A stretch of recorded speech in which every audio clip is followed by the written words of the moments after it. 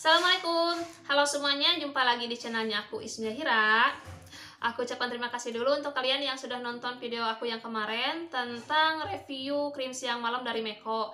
Jadi ini adalah kelanjutannya, cuma di sini aku mau ngebandingin antara Makeover Cream dengan Kelly Team. Di sini aku mau battle kedua produk jadul ini.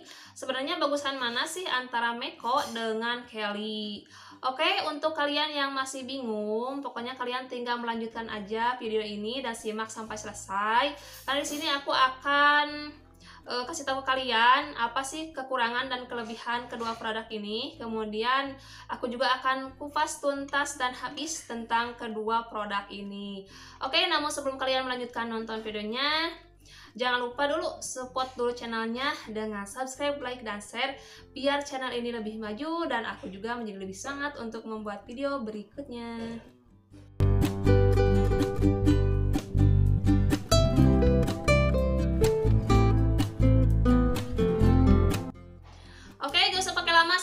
Akan review kedua produk jadwal ini antara Kelly Kim dengan Meko Kim. Di sini aku akan bandingin sebenarnya bagusan mana sih antara Kelly dengan Meko. Oke, sekarang kita masuk ke battle produk. Oke, yang pertama dulu yang aku mau review adalah Kelly Kim. Untuk Kelly sendiri, ini packagingnya warna merah, kemudian di tengahnya itu ada gambar model bule ya. Untuk Kelly, ukurannya cuma ada yang 5 gram, ini tidak ada yang lebih gede dari ini. Kemudian harganya juga cukup murah banget, ini cuma 5 ribuan aja. Oke, sekarang aku mau buka dalamnya. Untuk kemasannya sendiri, ini berbentuk cepuk, warna merah. Kemudian di tengahnya ada tulisan Kelly, berwarna kuning ya. Sekarang aku mau coba lihat si dalamnya atau krimnya. Nah, ini bisa dilihat. Oleh kalian. Ini krim Kelly. Warnanya kuning ya.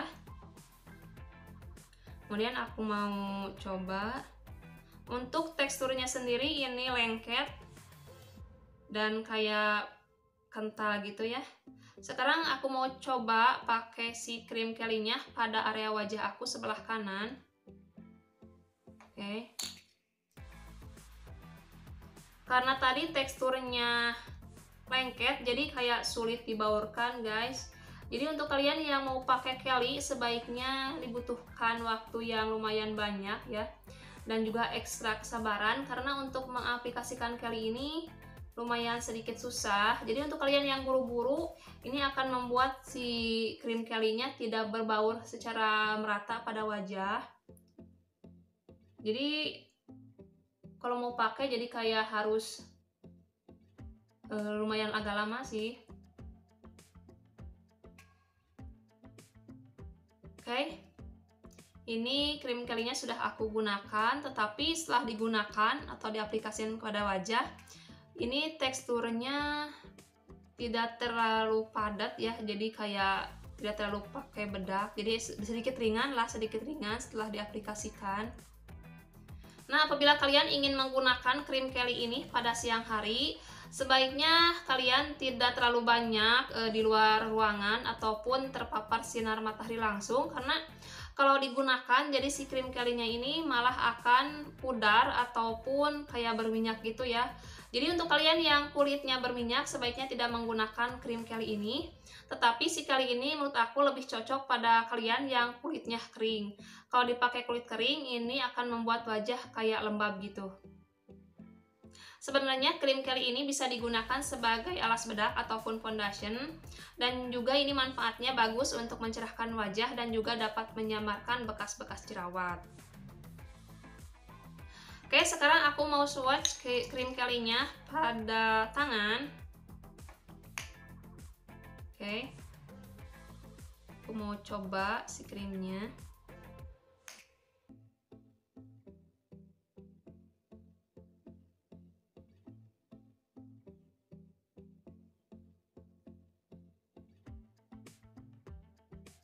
Oke ini krimnya sudah aku baurkan dan nanti akan kita lihat hasilnya setelah satu menitan aku diamkan dulu. Jadi apakah si krim ini dapat berbaur dengan tangan aku apa enggak?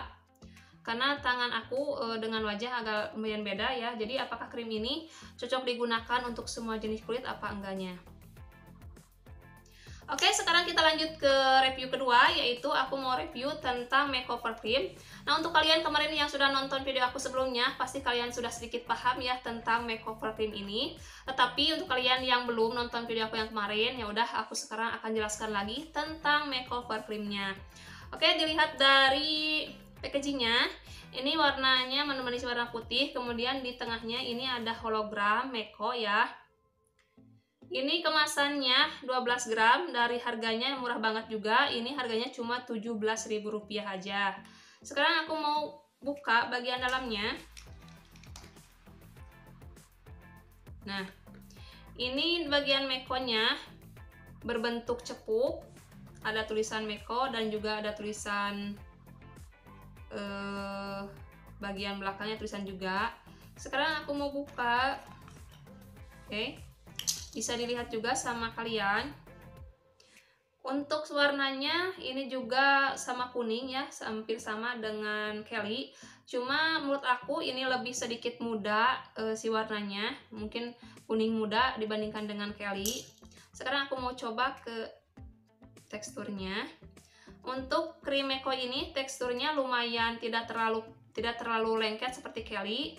Ini lumayan tidak terlalu kental dan lumayan ringan juga. Sekarang aku mau coba gunakan si krim Eko ini pada area wajah aku sebelah kiri. Nah untuk krim Eko sendiri menurut aku ini gampang banget dibaurkan pada wajah. Jadi karena ini tidak lengket tidak terlalu kental juga jadi ini gampang. Gampang dibaurkan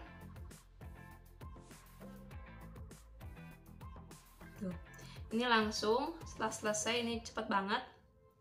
Tapi setelah digunakannya menurut aku ini lumayan sedikit agak padat ya dibandingkan dengan si krim Kelly. Kalau Kelly setelah digunakan tidak terlalu padat jadi sedikit ringan.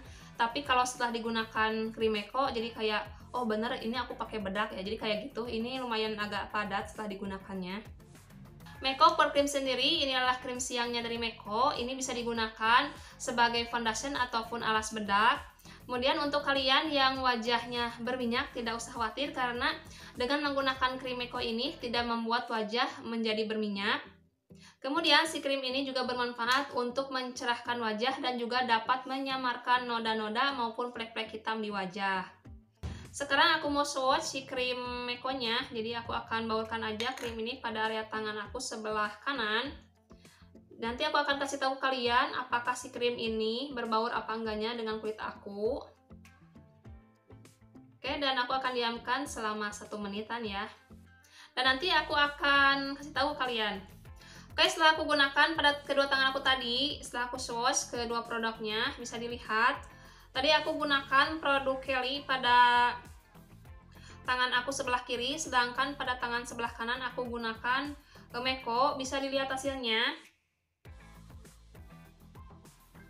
Nah, menurut aku tangan aku yang lebih cerah adalah adalah tangan yang kanan. Jadi menurut aku efek mencerahkannya dapat dari Meko. Jadi kalau ini kurang cerah. Kemudian teksturnya untuk Kelly sendiri, ini teksturnya tidak terlalu berbaur dengan kulit tangan aku. Jadi menurut aku si Kelly ini lebih cocok pada kalian yang kulit wajahnya putih. Jadi langsung berbaur, tetapi untuk kulit wajah yang mungkin sawo matang kurang berbaur dan, dan kurang cocok menurut aku. Jadi ini tidak terlalu berbaur dan tidak tampak cerah. Sedangkan untuk yang krim mekonya, ini langsung berbaur dengan tangan aku Oke, kemudian ini juga dapat cerahnya. Nah, sekarang aku mau bahas uh, kekurangan dan kelebihan si kedua produk ini. Nah, untuk krim Ekonya sendiri, ini kelebihannya dapat mencerahkan wajah. Tadi juga dapat ya, ketika dibandingkan dengan krim Kelly, ini lebih cerah Meko. Kemudian ini juga dapat menyamarkan bintik-bintik atau ataupun noda hitam di wajah, tetapi harus dengan pemakaian rutin. Kemudian selain itu, ini juga tidak membuat wajah berminyak, jadi cocok untuk kalian e, semua jenis kulit kalau untuk krim Eko. Oke, sekarang aku mau bahas tentang kelebihan dari krim Kelly ini. Untuk For Cream, kelebihannya kalau menurut aku ini dapat menyamarkan bekas jerawat pada wajah dan juga dapat mencerahkan wajah. Kemudian untuk kalian yang kulitnya putih, menurut aku krim Kelly ini cocok untuk kalian. Oke, kita lanjut. Kita bahas pada kekurangan kedua krim ini. Untuk krim Meko sendiri, kalau krim Meko menurut aku kekurangannya adalah ini bedaknya terlalu padat apabila kita aplikasikan pada wajah jadi setelah digunakan jadi kita kayak pakai bedak e, jadi kelihatan pakai bedaknya jadi untuk kalian yang mau pakai ini sebaiknya gunakan tidak terlalu banyak atau sedikit-sedikit aja kalau krim ini kemudian aromanya juga aku tidak terlalu suka. Dan untuk krim Meko ini juga jarang ataupun sulit ditemukan di tempat-tempat tertentu. Jadi tidak semua toko kosmetik menyediakan yang namanya krim Meko oke sekarang kita bahas pada kekurangan krim kali ini. Kalau menurut aku kekurangan krim kali ini adalah tidak cocok digunakan oleh semua jenis kulit. Menurut aku ini cocok e, dan hanya bisa digunakan untuk kulit yang putih kemudian ini juga e, teksturnya terlalu lengket dan sulit e, dibaurkan pada wajah jadi ini harus dibutuhkan ekstra sabar untuk mengaplikasikannya Kemudian krim ini juga bisa membuat wajah berminyak. Jadi untuk kalian yang kulitnya berminyak, sebaiknya tidak menggunakan krim kali ini. Oke, setelah tadi aku bahas dan review kedua produknya, yaitu Makeover Cream dan juga Kelly Per Cream. Jadi bagusan mana dong? Apakah Kelly ataupun Meko? Kalau menurut aku, kalau ini adalah subjektif aja ya. Setelah aku tadi gunakan secara berbarengan, menurut aku yang lebih bagus adalah Meko Per Cream. Kenapa aku lebih pilih ini? Karena menurut aku, Makeover Cream ini dapat mencerahkan wajah dan juga dapat menyamarkan noda-noda hitam. Kemudian si Meko ini juga menurut aku e, cocok untuk semua jenis kulit. Kemudian setelah dibaurkan atau diaplikasikan pada wajah itu langsung berbaur. Cuma mungkin kekurangannya ini sedikit padat ya dibandingkan dengan krim Kelly. Namun untuk kalian yang suka krim Kelly tidak usah marah karena ini hanya perspektif aku aja jadi menurut aku kedua krim ini sama-sama bagus, tapi mungkin disesuaikan aja dengan jenis kulit dan juga kecocokan kalian terhadap krim ini. Kemudian manfaat yang ingin didapatkan. Apabila kalian ingin mencerahkan dan juga menghilangkan flek-flek hitam, sebaiknya menggunakan makeover cream. Tapi untuk kalian yang ingin menghilangkan ataupun menyamarkan bekas jerawat, sebaiknya kalian menggunakan yang namanya Kelly Cream. Oke, okay, mungkin itu ya battle produk antara Makeover Cream dengan For Cream. Jadi untuk kalian tidak usah bingung lagi mau pilih yang mana, ini sesuaikan aja si krimnya dengan kebutuhan kalian dan juga kecocokan kalian dengan produk ini. Jadi mungkin itu ya videonya. Semoga video kali ini bermanfaat untuk kalian. Terima kasih untuk kalian yang sudah support channelnya dan yang sudah nonton videonya sampai selesai. Oke, selain itu kalian juga boleh komentar pada video ini, mau komentar apa pun, atau mau request untuk video selanjutnya, dan nanti aku akan buatkan videonya untuk kalian. Oke, terima kasih. Sampai ketemu pada video yang lebih menarik dan juga yang lebih bermanfaat. Terima kasih. Wassalamualaikum warahmatullahi wabarakatuh.